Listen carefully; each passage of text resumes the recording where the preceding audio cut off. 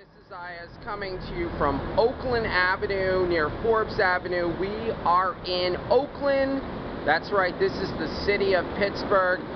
This area right near the Crazy Mocha is the finish line for the trek across the Northeast. And after 22 pit stops, four states, and more than 500 miles, the trek across the Northeast ends right here in Pittsburgh's Oakland neighborhood.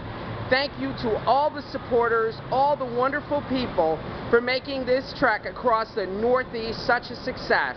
And what better way to end it in the wonderful city of Pittsburgh, in Oakland.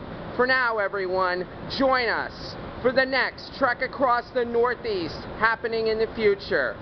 And we'll have more updates on music and other things here in Pittsburgh coming right up.